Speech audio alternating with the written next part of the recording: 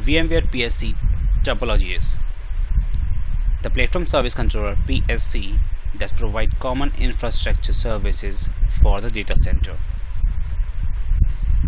The PSC roles include several infrastructure services that are single sign-on, custom roles, global permissions, certificate authority, license, and tags on the roles they have some other sub features.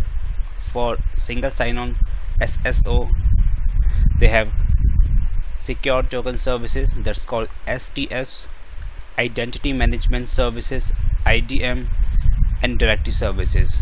That's VMDIR second VMware license services. Third VMware certificate authority VMCA fourth certificate store. Fifth service product registration. Sixth MISC services. It has some other features some features as well.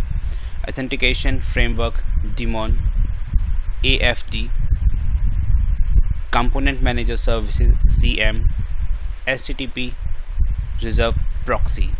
So these are the sub features for the roles.